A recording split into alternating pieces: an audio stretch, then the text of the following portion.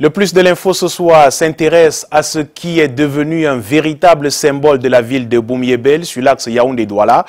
Le gésier est définitivement rentré dans les habitudes de consommation des voyageurs. Aliment autrefois réservé aux privilégiés, il est désormais disponible pour tous. Enquête dans cette industrie de la brochette de gésier. Comment se retrouve-t-il la provision et même à profusion à Boumiebel Et comment sa légende a depuis longtemps dépassé cette partie, cette localité, petite localité, et a même pris un autre sens dans les milieux des fêtards? Les gésiers de Boumiebel, c'est le sujet du plus de l'info ce soir avec Rodrigue Tonguet et Constant Kanga. Elle vend le gésier à longueur de journée sur le bitume. Elle recrute ses clients parmi les usagers de la nationale numéro 3 au poste de péage de Baumier-Belle où l'arrêt est obligatoire pour les automobilistes. Qui veut mon gésier hein?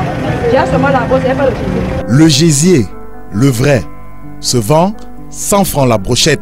C'est connu et fait même l'objet de chants populaires.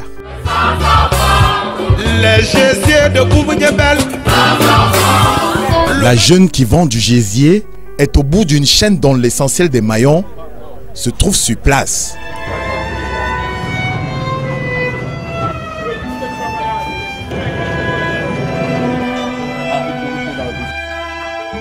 Tout part du stock acheté en kilos à Yaoundé. C'est le gésier que vous voulez voir. Ce surgelé importé est découpé en petites pièces, puis mélangé à un cocktail d'épices fait de poivre blanc, persil, le cancan, mais aussi une nappe de farine de blé et une pincée de cube. Je veux aromatiser et mettre le piment et je vais mettre dans le seau. Et il y a des jobs connexes, notamment celui de fabricant de tiges. Ces baguettes viennent des champs de la Soca Palme, à 50 km de Boumiebel. Et le rouleau se vend à 1000 francs. C'est sur l'une des baguettes qu'on enfile le gésier. Je suis à 15 ans à Boumiebel dans le gésier. Donc j'ai passé toute mon enfance que dans le gésier. Et comme à Boumiebel, le vendeur est en même temps au fourneau, ça peut débouler à tout moment. La chasse aux La acheteurs. réputation des gésiers.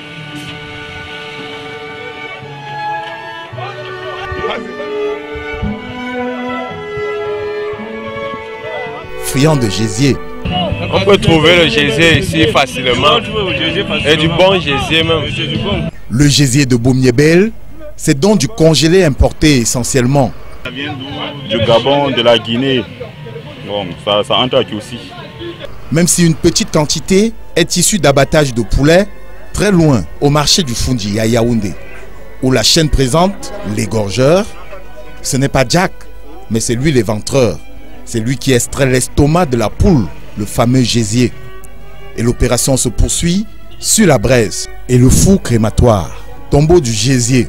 Pour une même finalité, le gésier qui se vend à 500 francs. Ce n'est plus seulement pour les vétérans et les chefs de famille.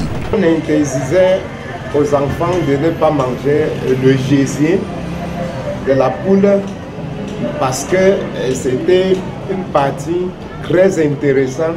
Il y a les deux cuisses et le gésier. Non, le gésier, ne pouvant pas satisfaire plus d'une personne, il fallait qu'elle soit réservée au père. Le gésier est démocratisé ici à Boumiebel. Est-ce qu'on est sûr que c'est le gésier Non, c'est vraiment ça. Moi-même, j'ai douté. Moi-même, j'ai douté, mais aujourd'hui, là, je confirme que c'est vraiment le gésier. au point de prendre d'autres connotations, avec des mots de code. Ah non, non, on ne connaît pas l'autre. Peut-être ne le sait-il pas vraiment. La polysémie du mot peut parfois prêter à confusion.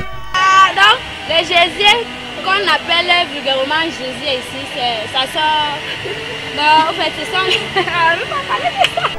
L'autre gésier, c'est une affaire d'initié, car il y a gésier et gésier à Boumiebel. À partir de 1500, 2000. Elle parle certainement de celui qui a été récupéré par les cabarets.